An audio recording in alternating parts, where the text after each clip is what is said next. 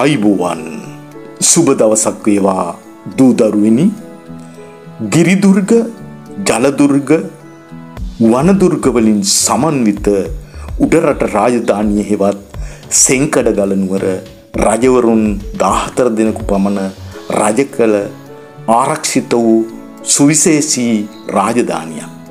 පෘතුගීසින්ට ලන්දේසින්ට කෙසේ උත්සාහ කළද යටත් කර ගැනීමට නොහැකූ වීර වික්‍රමාන්විත රජවරුන්ට නිජභූමියක් වූඩරට රාජධානිය ඉතා සුවදායි පරිසරයකින් යුත් ශාස්ත්‍රීක භූමිභාගයක්. එසේම දළදා වහන්සේ වැඩ සිටින පූජනීය පින්බිමක්. එම රාජධානයේ රජවරුන් පිළිබඳ හඳුන්වාදීමයි අපගේ අරමුණ. මෙම රජ පෙළපත බණ්ඩාර පරපුලකින් පැවතෙන්නේ. මෙම රාජධානයේ පළමු රජ වසයෙන් හැඳින්වෙන්නේ සේනා සම්මත වික්‍රම් බහු රජු. පසුව ඔහුගේ පුත් ජයවීර බණ්ඩාරයන්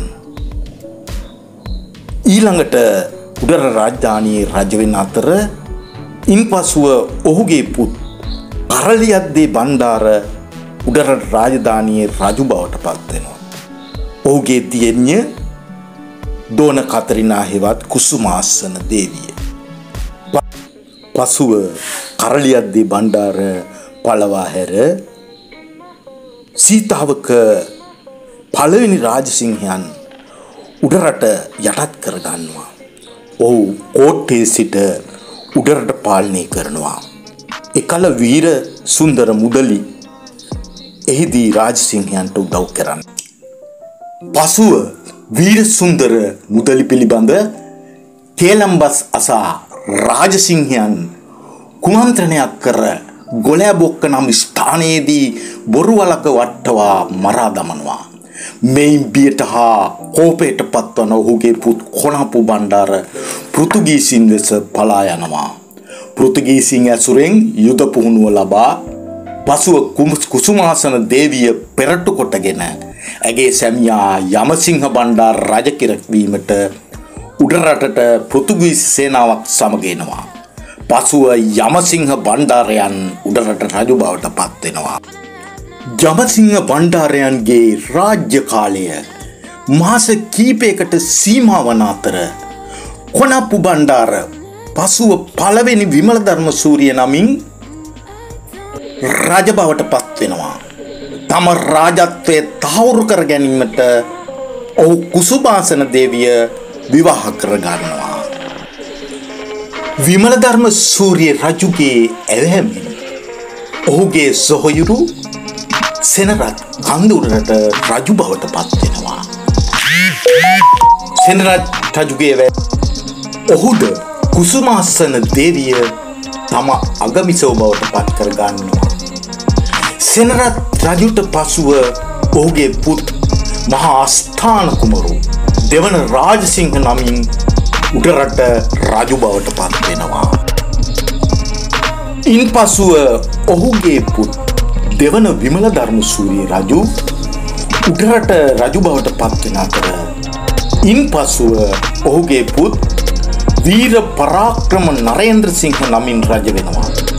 ඔහු අවසාන සිංහ රජු වසයෙන් ඉතිහාසය සටහන් වෙනවා.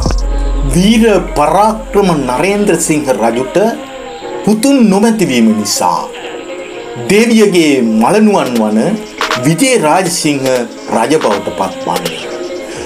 ඔහු ප්‍රථම නායක්කාර වාංසික රජු ලෙසින් විරුදාවලිය ලබනවා. ඉන් පසුව කීර්තිසී රාජසිංහ රජවන අතර ඔහු විශාල ආගමික සේවාවක් ඉටු කරනවා. එම රජුගෙන් පසු රාජාදි රාජසිංහ රජු උඩරට රජු බවට පත්වෙනවා. ඔහුගෙන් පසු කන්නසාමි කුමරු සීවික්‍රම රාජසිංහ නමින් රජවන අතර ඔහු උඩරට අවසන් රජුය. පසු ඔහු ඉංග්‍රීසින් විසින් ගෝවට පිටුවහල් කරනු ලබනවා. ඉන් පසුව එදහස් අටසිය පහළවේ පෙබරවාරි මස රදලවරුන් හා ඉංග්‍රීසි ආණ්ඩුකාරවරයා රොබට් බෞන්රින් අතර මගුල් මඩුවේදී ගියවසුම අස්සං ක්‍රීමෙන් පසු අප ශේෂ්ඨ ජාතිය අප මව්බිම ප්‍රධාන ක්‍රවුන් කොලනියක් බවට පත්වෙනවා. එදදාස් නමසය හතලිස් සටේ පෙබරවාරි හතර දක්වා අප රට ඉංග්‍රීසින්ගේ අනසකට පත්වී යටත් විජිතයක් බවට පත්වෙනවා. එසේ නම් මේ වීඩියෝ මෙතනින් අවසන් කරනවා ඔබ සැමට ස්තුතියි.